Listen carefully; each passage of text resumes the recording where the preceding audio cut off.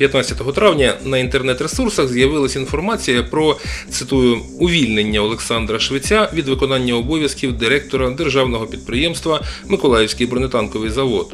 Водночас стало відомо, що на посаду радника керівника цього підприємства призначено депутата Миколаївської міської ради, крім того, відомого волонтера Олега Мудрака.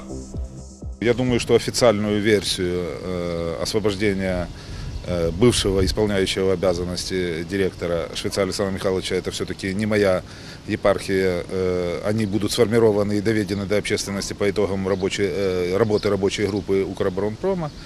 Э, Были выявлены ряд нарушений, которые сегодня систематизируются, оценку которым в виде отстранения Александра Михайловича и было сделано на основании э, приказа заместителя генерального директора Укроборонпрома. Отстранение Александра Михайловича никоим образом не, с- не, не, не повлияло на работоспособность завода. Как вы сейчас видите, вот только закончился обед, все вернулись по своим местам, столовая работает, в цехах шум, гам рабочий, нормальный. Хмари над Олександром Швецем почали збиратися протягом останніх місяців. Серйозним ударом або спробою удару по його авторитету стала публікація відеосюжет із статті Миколаївського центру журналістських розслідувань. Матеріал став надбанням і загальноукраїнських ЗМІ, виходив в ефір першого національного та громадського телеканалів. Далі про інформацію, викладену колегами та відповіді вже екс-керівника заводу, його підлеглих і не тільки. Одна зі скандальних тем броньовані машини швидкої допомоги. Ноу-хау Миколаївського бронетанкового. Їх почали будувати влітку минулого року. У презентації машин брали участь представники вищого керівництва держави. Багато розповідалось про модернізацію новоствореного бронетранспортера порівняно з базовою моделлю БТР-70. Раньше были на БТР-70 люки под ватерлинией, и было проблематично их раненых забирать с поля. А сейчас эта парель сделана, сделана м, салазки вот эти вот, вот, что носилки заезжают. Только поднесли, раз положили, и они заезжают самостоятельно. Или в БТР везти, или здесь раз положили его на койку. Тяжело раненого. Тут же можно опустить стол, они делают операцию прямо на ходу во время движения. Что во много раз удобнее вот эта вот такая вот машина. И то, что высокая, не надо согнутым ходить. А здесь, э, будем говорить, доктор может стоять в полный рост. Эту машину медицинскую мы разрабатывали, разрабатывал наш завод, отдел конструкторов. Э, Она себя зарекомендовала, спасает жизни, то есть лучше на бронированной машине перевозить раненых, нежели на обычной. Операционный стол есть, умывальник, э, шесть человек тяжелораненых, носилки крепятся, можно перевозить, вывозить с поля боя. Этим как-никак мы спасаем жизни. Тот санитарный транспорт, который у нас имеется на оснащение войск, он, к сожалению, не бронирован. Приходилось оказывать помощь и непосредственно под обстрелом. И, так, а защиты никакой. Это тоже прятаться где-то в каком-то окопчике, там, ложбинке. Ну, И если бы тогда если бы да, был такой транспорт, то можно было непосредственно выходить, эвакуировать раненого уже еще во время боя, непосредственно с подострела выезжать и на ходу осуществлять первую медицинскую помощь. Але в матеріалі наших колег з центру журналістських розслідувань йдеться про інше. Мовляв, військові розчарувалися в ковчегах. Так спочатку називалась нова модель, пізніше їх стали іменувати Святий Миколай. На сайті Укроборонпрому сказано, що гроші на одну таку машину жертвувало 15 тисяч людей. Однак наразі практично всі миколаївські бронешвидкі стоять без діла. Так, три машини, подаровані миколаївським десантникам, вийшли з ладу. Одна стоїть у зоні АТО, дві інші у парку частини. Броньована швидка, яку волонтери закупили для одеських піхотинців з 28-ї бригади, за даними слідства, ламалася вже тричі. Перша на марші в зону АТО ще двічі, вже в районі бойових дій. Та говорити про проблему вголос військові не хочуть. Причина проста: ніхто не хоче псувати стосунки з заводом, який ремонтує бойову техніку. Як служать бронешвидкі в зоні АТО, зараз хвилює хіба що самих військових. І правду про цю проблему безстрашні миколаївські десантники готові казати, тільки сховавши обличчя. Личный состав командования недовольна. Недовольна именно не машинами, а именно двигателями. Потому что, как говорится, на экспорт ставят ивековские двигатели, а в родной Украине ставят старые двигатели. Устарелые, которые уже по техническим санитарно не могут выполнять функции в зоне АТО. Визнаючи, що ковчеги на фронті потрібні, вояки обережно вказують і на головні недоліки машини. Для того, щоб їх е, більше вони були ефективніші, треба додатково говорити е, ще встановити певні двіжки для того, щоб обладнати і було швидше, маневреніші, і крім цього, щоб стосується е, в будь-який час не підводили. З тим, що двигуни на броньованих ковчегах вкрай ненадійні, погоджується й начмет десантників. Є певні недоліки. Це по двигуну, ну, який бензиновий двигун, краще було б е, дизельний. І е, один ще недолік це висока вона. Тобто для погрузки вона ну, в деяких ситуаціях незручна. Ну, я такой э, машины вообще-то не знаю. Такая машина на вооружение вообще не поступала. Затем, чтобы она поступила на вооружение, нужна определенного рода процедура. Нужна проектная документация. Нужна стадия НИОКР, научно-исследовательских и конструкторских работ. Или хотя бы ОКР, опытно-конструкторских работ. Да? И процедура принятия на вооружение. То есть испытание этой машины и приемка государственной комиссии. За даними слідства, БММ-70 Ковчег це не надійна швидка для наших воїнів, а дута показуха. Машину важко віднести до ноу-хау. Її придумали на Миколаївському бронетанковому ще 2007-2008. І на озброєння українського війська її так і не прийняли. Виникає питання, чому? Через складні бюрократичні процедури чи недостатню якість та невідповідність своєму призначенню? Відповідь на це мають дати компетентні спеціалісти Міністерства оборони України. Хоча б для того, щоб не викидати на вітер добровільні пожертви українців. Стали недоліки броньованих швидких наслідком недбалості працівників Миколаївського бронетанкового, чи є результатом початкової недосконалості БТР-70? Питання для фахівця. Машин БТР-70, принаймні їх корпусів, зберіглося з радянських часів дуже багато. Бензиновий двигун, що від початку ставився на цю модель, сучасні військові називають занадто небезпечним для бойових умов. Щоправда, представники заводу сперечаються. Даже для того, чтобы э, поставить другие двигатели, все, существует специальная процедура постановки на учет, расходы и так далее и тому подобное. И машины проектировались, действительно эти машины проектировались специально с учетом и высота машины, э, чтобы можно было в машине делать операцию стоя. Она была пробирована в Винницком военном госпитале, э, так что учитывался опыт э, врачей, которые прошли Афганистан, Ирак. То, что писали, что плохие машины, в принципе, я не согласен с этим. Скорее всего, немаловажен тот факт, что идет неправильная эксплуатация боевых машин. Конечно, намного лучше ставить туда э, дизельные двигатели, но э, так как это дороже, э, не всегда это позволяло по карману, потому что бензиновые двигатели, надо очень опытные водители, смена бензина, они рассчитаны на 76 бензин, надо уметь регулировать зажигание, и э, двигатели и при неумелом пользовании перегреваются, в связи с этим выходят из строя. Так это просто для этого необходимо обучать экипажи, но, к сожалению, так получается, что сейчас малоопытных водителей садят за управление БТРов, и это зачастую, конечно, выводит из строя технику э, преждевременно. Последние машины, когда забирали, э, 79-я бригада именно, и вот мы к одному бойцу подошли, а вы спрашиваем, ты водил БТР? Он говорит, никогда. А чего ж ты водишь? А у меня категория С открыта. Никогда человек не водил ни машины, ни трактора. Его, его садят за пульт. И он даже не понимает, что надо снять с ручника и со всего от волнения и от габаритов машины. Понимаете, что вызывает тревога. И, конечно, такие люди просто выводят из строя машину, э, несмотря на высокое качество ремонта. Констатацією низької якості броньованих швидких машин дослідники з центру журналістських розслідувань не обмежилися. Заявили про сумнівні фінансові оборудки, котрими начебто займався Олександр Швець. Український радіаторний завод Краніт продала заводу 700 радиаторов для бронемашин БТР-60 по завышенной цене. Вот, и даже фининспекция в своем отчете вот, подтвердила, что по той рыночной цене, которые были эти радиаторы, они были завышены в два раза. МБТРЗ не зміг вчасно розрахуватись за цей непотріб. У 2010-му Кроніт через суд домігся визнання боргу 2 мільйони 100 тисяч і 400 тисяч гривень пені. Отримати їх тоді від підприємства на межі банкрутства Олександр Швець не зміг, але зробив це згодом, коли його призначили виконувати обов'язки директора МБТРЗ. У рахунок боргу він отримав 2 мільйони гривень і 4 двигуни за 528 тисяч гривень, які потім знову продав заводу. вот это был июнь или май 2014 года, да, было судебное решение ранее, в 2010 году, о том, что долг зафиксирован ДП МБТЗ перед э, Кранидом.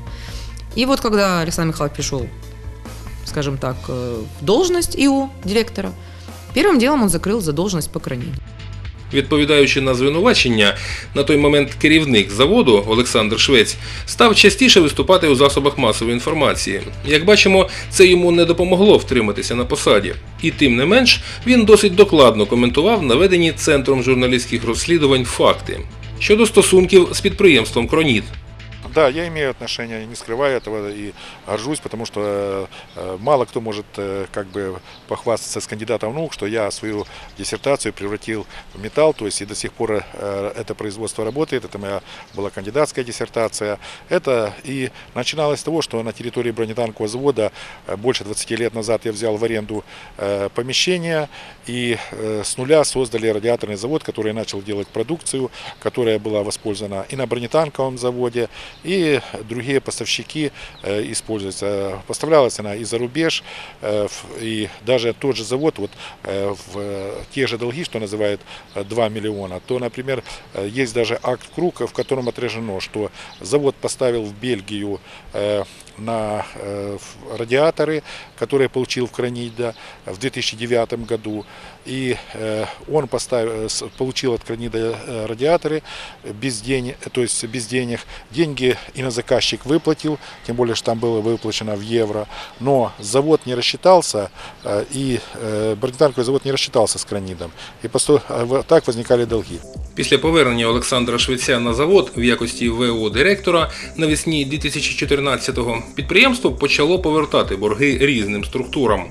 э, с государственными предпри- предприятиями, с Львовским, э, Житомирским бронетанковым заводом. Э, в- ч- э, Кранит также был одним из э, это, кому был должен завод. Завод погасил задолженность, но это один. В общей сложности, э, как вы понимаете, мы погасили, уже уменьшили дебиторг на 15 миллионов. Э, И в тому числі і перед кранітом. Звинувачення у надмірній корисливості Олександра Швеця обурили. Згадує, як 2010-го в першу каденцію керівником заводу підтримував підприємство за власний кошт. И собственными деньгами я платил за э, коммунальные услуги, за электроэнергию, э, за запчасти. И получается, что в результате э, в чем-то была выгода. И получил эти через 5 лет, э, вернулись эти деньги ко мне там через 4.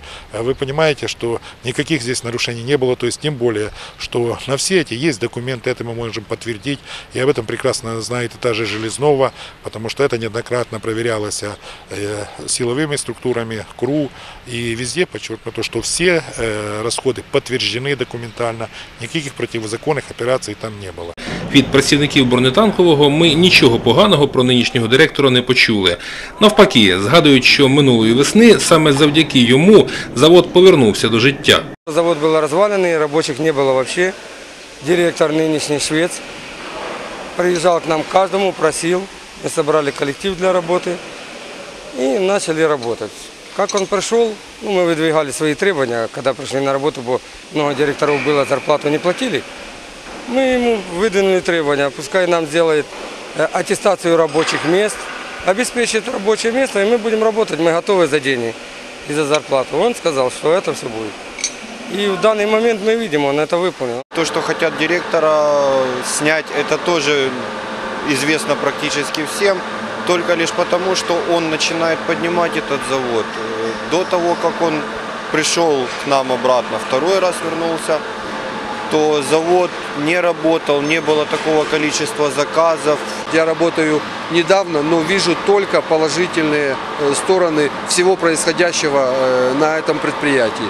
И мы э, всем коллективом всегда выступали и будем выступать в защиту своего руководства и непосредственно директора. стала выплачиваться вовремя заработная плата, которая имела большую задержку.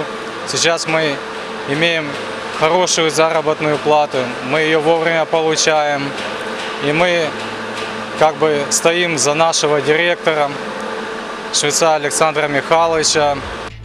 За останній рік колектив заводу здобув нових друзів, в тому числі серед народних обранців від Миколаївщини. шквал критики, який лунає з різних інформаційних джерел, і телевізійних, і інтернет-видань, вони якраз говорять про те, що колектив підприємства йде у правильному шляху.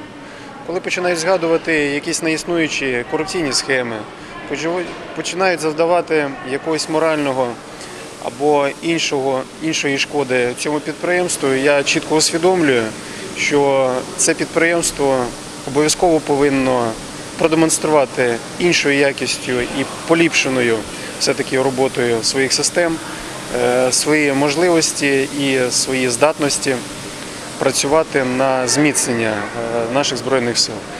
Водночас е, ще не було такого разу, коли б я не прийшов на завод, якби я не зустрів десятки, а може навіть і більше офіцерів, рядових солдат різних підрозділів, які приїжджають з різних частин, з різних підрозділів і захоплюються роботою підприємства. А їхнє керівництво із великим задоволенням все-таки розміщує свої замовлення власне на Миколаївському бронетанковому заводі. Зрештою, буквально напередодні появи наказу про увільнення Олександра Швеця від виконання обов'язків директора відбулись збори трудового колективу, під час яких працівники заводу спілкувалися з представниками робочої групи державного концерна Укроборонпром, котрі вже кілька днів вивчають ситуацію на підприємстві. Слухи шли по поводу, что приехала комиссия о снятии директора. Поэтому трудовой коллектив и собрался, чтобы выяснить все эти вопросы. Чтобы пос- расставить, как говорится, точки над «и». Я считаю, что в нашем государстве люди имеют право высказать свое мнение. Может быть, кто-то к ним прислушается. У працівників було багато запитань до представників концерну Укроборонпром, до якого власне входить Миколаївський бронетанковий завод. Фахівці підприємства зі стажем пам'ятають багатьох директорів. Роками на заводі накопичувалися борги із зарплати, скорочувався колектив. Тому позитивні зміни, що відбулися на підприємстві після повернення навесні минулого року Олександра Швеця, колектив пов'язує саме з ним. Люди не розуміють, чому концерн терпів тривалий простій підприємства і не втручався. А тепер, коли завод завантажений, працівники вчасно отримують гідну зарплатню, їх робота і особа керівника привернули стільки уваги. corre У свою чергу, представники робочої групи Укроборонпрому нагадують про численні борги підприємства перед іншими структурами. Щоправда, ці борги з'явилися не сьогодні. Висловлюють претензії щодо порушень термінів виконання робіт заводом, неоптимальності організаційної та фінансової діяльності або й навіть зловживань. Мы пришли сюда помочь, оказать помощь, оказать помощь, не стоять возле станка, а определить э, направление э, вашей деятельности. У нас был директор. Наш директор, который нам помогает. Сейчас который нас его поддерживает. уволили. Мы ему доверяем. Ради Бога, Мы вы ему доверяете. доверяем. Но мы после нашей проверки объявим вот здесь наш результат, и тогда вы примете решение. Доверяйте, доверяйте. Звучали і претензії до Укроборонпрому від працівників заводу. Мовляв, через заорганізованість цієї структури та непродуманість тендерів навіть купівля рукавиць чи паяльників перетворюється у тривалий і виснажливий процес. Мы вас просим, помогите директору нашему, чтобы были, не, не было нарушений ни экономических, никаких. Это И всё. наша основная задача. Вот, пожалуйста. И передайте в Укроборонпром, чтобы они помогали нам. А директор, контролируйте, блин, что хотите, делайте, чтобы было нормально. Не надо нам менять директора. Мы уже вот так их наелись, этих директоров. У нас было больше их, чем у вас, наверное, руководство в Укроборонпроме. Мы хотим работать. Вот и все. А наступного дня, нагадаємо, стало відомо, що Олександр Швець вже не керівник цього підприємства. Детально про реальні підстави такого кадрового рішення ми, мабуть, ще дізнаємося. А поки що завод продовжує працювати в штатному режимі. производство, которое загружено заказами, которое выполняет сегодня их, в общем-то, без срыва сроков и планов, доказывая то, что Николаевский бронетанковый завод надежный пар- партнер, лишний раз подтверждая свое место на рынке ремонта вооружений в Украине. Люди спокойны, люди прекрасно понимают, что и в этом, и в следующих, последующих месяцах они получат свою заработную плату, а завод будет насыщаться новыми заказами и контрактами.